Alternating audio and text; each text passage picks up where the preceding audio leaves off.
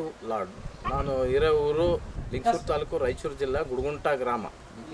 ಅಲ್ಲಿಂದ ನಮ್ಮ ಮನೆ ದೇವರಾದಂಥ ಮಲ್ಲಯ್ಯ, ಈ ನಮ್ಮ ಮನೆ ದೇವರು ಮಲ್ಲಯ್ಯದು. ಅದಕ್ಕೆ ಏನಾಯ್ತು ಅಂದರೆ ಎಳೂರ ಹತ್ರ ನಾವು ಕೇಳಿದ್ವಿ. ಏನಂತ? ಏ, ನಿಮ್ಮ, ನಮ್ಮ ಊರು ಯಾವುದ್ರಿ? ಯಾರು ನಾವು ಎಲ್ಲಿಂದ ಬಂದೀವಿ, ಎಲ್ಲಿಂದಿಲ್ಲ, ನಾವು ಯಾರಂತ ಗೊತ್ತಾಗವಲ್ದು ನಮಗೆ ಅಂತ ಹೇಳಿದ್ವಿ.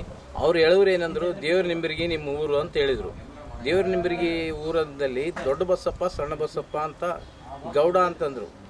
ದೊಡ್ಡ ಬಸಪ್ಪಗೌಡ ಸಣ್ಣ ಬಸಪ್ಪಗೌಡ ಅಂತಂದರು. ಆಮೇಲೆ ಅಲ್ಲಿ ಏನಾಯಿತು ಕಾಲಾಂತರದಿಂದ ನಮ್ಗೆ ಗೊತ್ತಿಲ್ಲ. ಈ ದೇವರು ದೇವರಿಬ್ಬರಿಗೆ ಬಂದು ಮಲ್ಲಯ್ಯನ ದೇವಸ್ಥಾನ ಗುಡಿತಲ್ಲಿ ಒಂದು ಅಲ್ಲಿ ಈ ಕಡೆ ಒಂದು ಬಾಯಿ ಇದೆ. ಆ ಬಾಯಿಯಲ್ಲಿ ಕುಂತು ಚ ಯೋಚನೆ ಮಾಡಿದರು. ಆದರೆ ಅವರು ಬಾಯಿ ಹತ್ರ ಕುಂತು ಎಲ್ಲ ನಮ್ಮ ತಲೆ ಏನಿಲ್ಲ ಅಂತ ಕೇಸಿ ಆ ಬಾಯಲ್ಲಿ ಬಿದ್ದು ಸತ್ತೋಗೋಣ ಅಂತ ಇದು ಮಾಡಿದ್ರು. ಬಾಯಿನ ಬಿದ್ದ ಮೇಲೆ ಮಲ್ಲಯ್ಯನ ಮೂರ್ತಿ ಸಿಕ್ತು. ಮಲೈನ ಮೂರ್ತಿ ಸಿಗೋಣ ನಮಗೆ ಇಲ್ಲೆಲ್ಲ ಜನರಿಗೆ ಕೇಳಿದ್ರೆ, ಇದು ಮಲೈನ ಮೂರ್ತಿ, ಈ ಭಾಗಕ್ಕೆ ಹೋಗ್ರಿ ಅಂತ ಹೇಳಿದರು. ಲಿಂಗಸೂರು ಕಡೆ ಭಾಗಕ್ಕೆ ಹೋದ್ವಿ. ಸುಮಾರ್ಲಿಂದ ಈಗ ಸುಮಾರು ವರ್ಷ ಆಯ್ತು ಈಗ. ನಮ್ಗೆ ಗೊತ್ತಾದ ಮೇಲೆ ನಾವು ಮಲ್ಲಯ್ಯನ ಇವತ್ತು ನಡ್ಕೊಳಕತ್ತೀವಿ ಮಲ್ಲಯ್ಯ ನಮ್ಗೆ ಒಂದು ರೊಟ್ಟಿ, ಒಂದು ಇವತ್ತು ನಮ್ಗೆ ನೆನ್ಸೇನ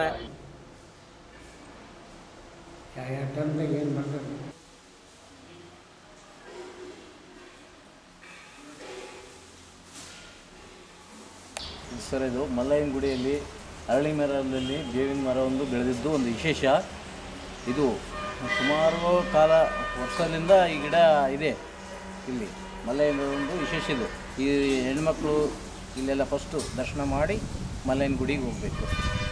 ಆಮ್ಯಾಗೆ ಇಲ್ಲಿ ಕುದುರೆ ಇದೆ ಮಲ್ಲಯ್ಯಂದು ಆ ಕುದುರೆ ಆದಮೇಲೆ ಮಲ್ಲಯ್ಯನ ಒಳಗೆ ಟೆಂಪಲ್ ಇದೆ.